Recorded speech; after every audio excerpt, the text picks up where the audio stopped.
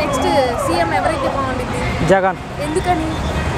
ఎందుకనంటే అన్ని మంచి చేస్తున్నారు కదా మరి జగన్ వల్ల ఉపయోగం లేదంటున్నారు కదా చాలా మంది ఏమో వాళ్ళకి తెలియదు జగన్ స్కూల్లో మంచిగా చేస్తున్నారు కదా ఐప్యాడ్ మరి ఇప్పుడు వాళ్ళ సిస్టర్ షర్మిలా కూడా పోటీ చేస్తున్నారు కదా మరి ఎవరు గెలుస్తారు అంటారు? జగనే గెలుస్తాడు ఎంతమంది వచ్చినా?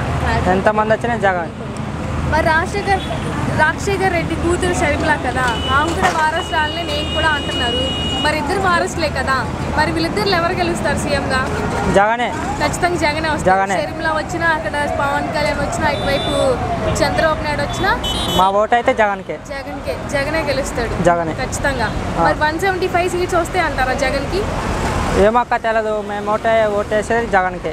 జగన్ వల్ల మీకు ఏం ఉపయోగాలు జరిగినాయి? ఏం ఉపయోగాలంటే ఆ, ఇంటింటికి వచ్చి బియ్యం వేస్తున్నాడు. ఇంటింటికి వచ్చి బియ్యం వేస్తున్నాడు స్కూల్లో మంచిగా చేస్తున్నాడు. అదే చాలా మంచిగా అభివృద్ధి లేదంటున్నారు కదా జగన్ వల్ల? ఏమో వాళ్ళకి తెలిసింది అంటారు మీకు తెలిసింది మేమైతే జగన్ కోటేస్తాం